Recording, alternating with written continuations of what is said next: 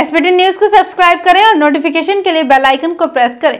नमस्कार SPT news पर आप देख रहे हैं राजस्थान की बड़ी खबरें। बड़ी खबरों में सबसे पहले है टेक्नीशियन और डॉक्टरों के बीच हुई मारपीट को लेकर। जयपुर के सवाई मानसिंह अस्पताल में लैब टेक्नीशियन और डॉक्टरों के बीच हुई मारपीट के मामले में कार्यवाही नहीं होने पर आज प्रदेश भर के लैब टेक्नीशियनों ने कार्य बहिष्कार का फैसला किया है।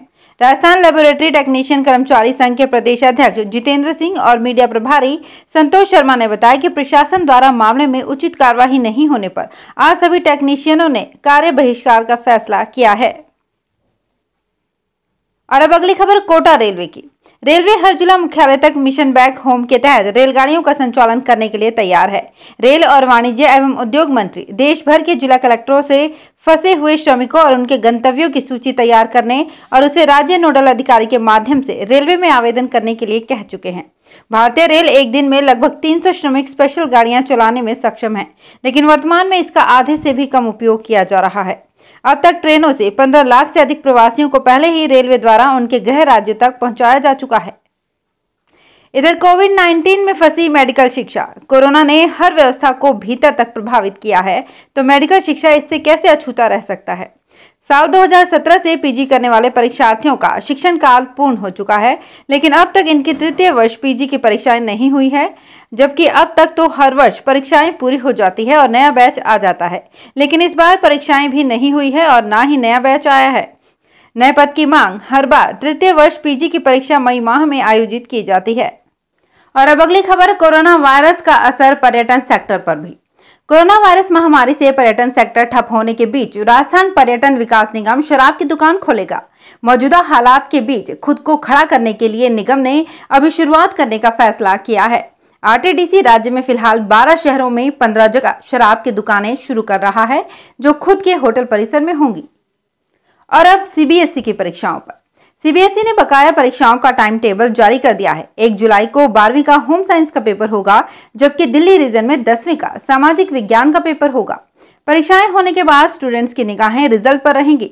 कोरोना वायरस संक्रमण और लॉकडाउन के चलते सीबीएसई ने 19 मार्च को दसवीं और बारहवीं की परीक्षाएँ स्थगित कर दी थी। कोरोना संक्रमण से करीब दो माह से संघर्ष कर रहे भरतपुर के लिए सोमवार रात को अच्छी खबर आई। नए मापदंड के तहत भरतपुर रेड जोन से बाहर हो गया है।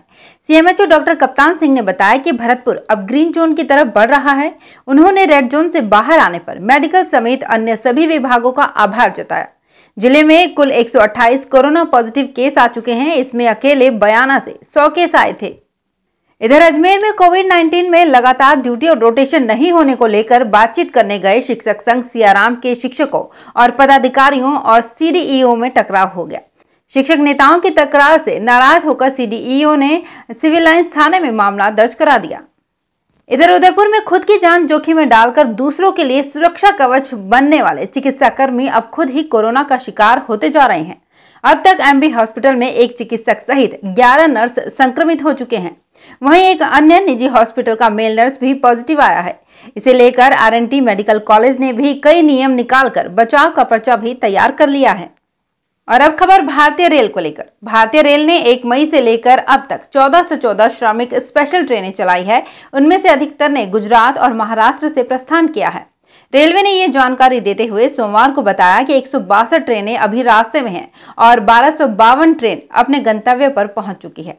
रेलवे ने कहा कि लगभग 116 ट्रेनें और चलाए जाने की प्रक्रिया में हैं। रेलवे ने एक मई से अब तक लगभग साढ़े अठारह लाख प्रवासियों को उनके घर तक पहुँचाया है।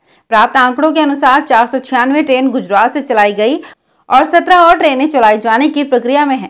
सब्सक्राइब कीजिए हमारे चैनल एसपीटी न्यूज़ को और प्रेस कीजिए बेल आइकन पर।